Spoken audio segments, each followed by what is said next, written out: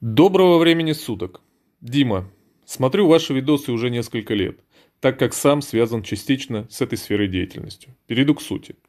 Я не работаю в такси, моя сфера деятельности – трансфер. У меня микроавтобус H1, сам я из Костромы. 13 июля в ночь выехал из Костромы в аэропорт Внуково. Обратно выставил поездку на Блаблакар на 8 00 от ВДНХ, заправка Роснефть, взял пассажиров и поехал. Деньги сразу не брал. Когда отъехал от заправки, заметил, что через 3-4 машины за мной едет машина ДПС. Куда я, туда и она. Доехав до разворота в сторону Москвы, она меня остановила, взяв документы для проверки. Сказала ехать за ними. Приехали, на улицу Космонавтов 2, то бишь где гостиница «Космос». Подъехал и увидел машину мадишников. Составили протокол и сказали, что машина на стоянке на эвакуаторе. Ехал я в тот день с ребенком. Трех лет я закрылся в машине и боролся как мог. С этими деспотами до 14-20.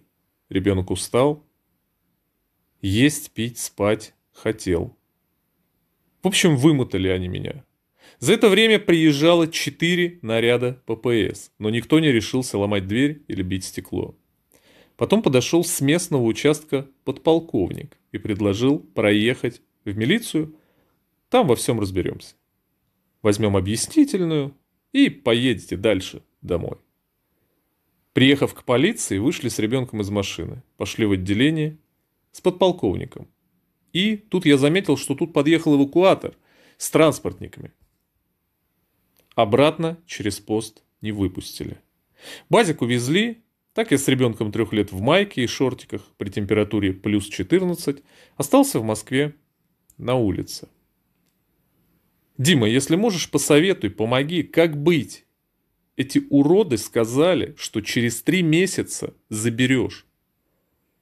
У меня четверо детей, младшим двум 3,5.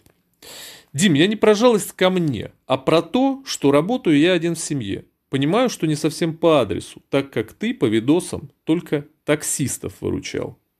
Дим, очень надеюсь на твою помощь, хотя понимаю, что отдых на море никто не отменял. С благодарностью, Сергей. Вот такое письмо пришло на наш адрес электронной почты.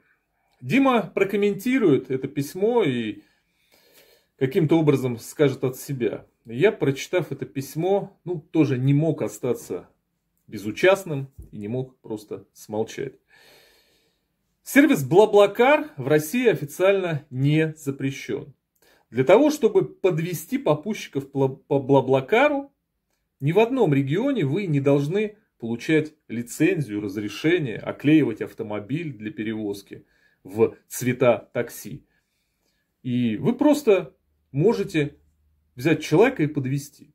Представить себе, что в советское время какой-нибудь э, э, работник села, двигаясь на грузовом автомобиле, да, там махали девушки, мы видели в фильмах очень часто, там, э, соответственно, с поля, с пассивных работ, с каких-то полевых, они ехали и просто махнув рукой, останавливалась машина, их подвозили.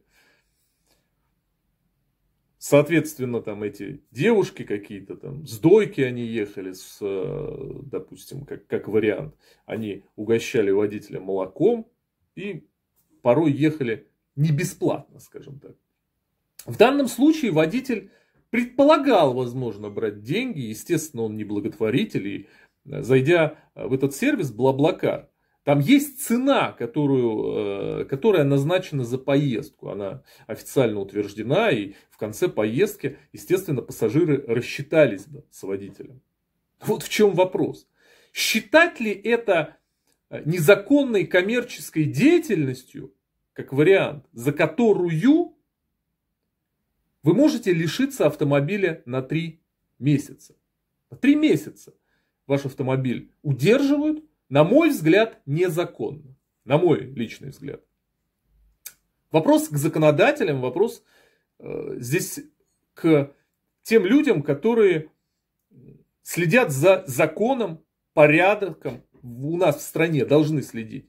Если этот сервис вне закона, как и другие подобные ему, если для того, чтобы я подвез какого-то человека, просто человек идет по дороге, человек не может добраться, и зима, холод на улице, как вариант. Я его подвез за какую-то денежную плату, если по тому же сервису там Блаблакар. Если этот сервис вне закона, то почему он работает на территории России, если он вне закона?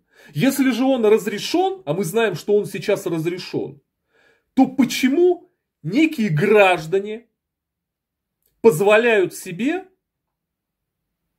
незаконно удерживать автомобиль? Тех, кто э, по этому сервису э, пассажиров подвозит. Вопросов больше, чем ответов. И здесь, э, вот в данном случае, конечно, не может не поражать подлость сотрудников полиции. Подлость вот этого подполковника, который заманил обманом, в данном случае Сергея, который написал это письмо, заманил обманом к отделу, и там обманом у него забрали автомобиль. Это сотрудник полиции, который должен следить за порядком, за законностью и помогать людям. Он давал присягу. Каждый сотрудник полиции дает присягу. Так вот этот подполковник давал присягу, в которой он обещал служить народу, служить своей родине. Как он служит, очевидно. Очень жаль, что у нас нет э, вот, э, внешнего облика этого героя, вот этого подполковника, который может бороться с э, простыми людьми и с детьми, как мы видим. Хочу обратиться ко всем. Что мы можем? Мы можем, наверное, сейчас объединиться только в приложении Help Driver, разработанном Мих-Михом, да, канал Мих-Мих на YouTube.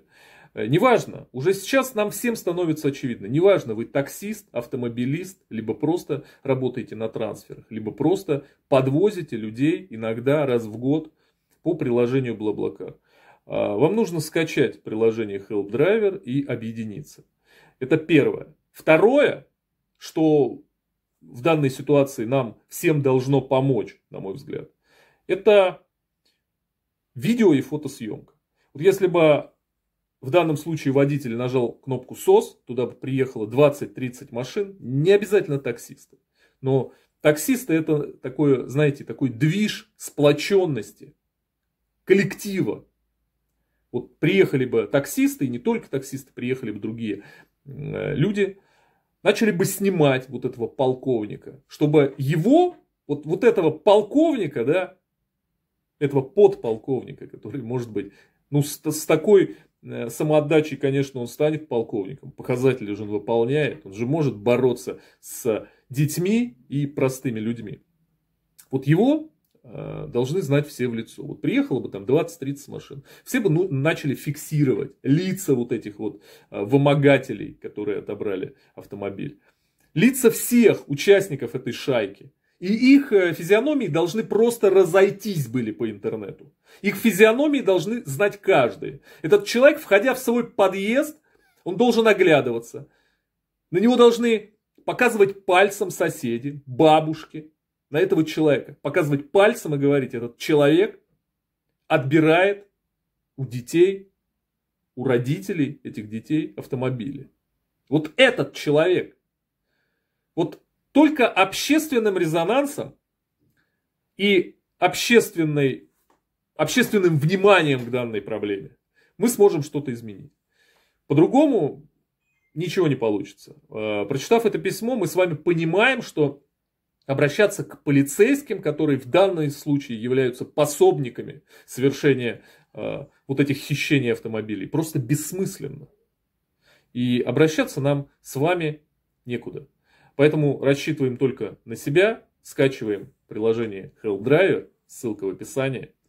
Помогаем друг другу, если вы видите, что у кого-то э, отбирают автомобиль, обязательно остановитесь, обязательно фиксируйте э, все на видео и будем стараться максимально придать резонанс этому и подобным случаям.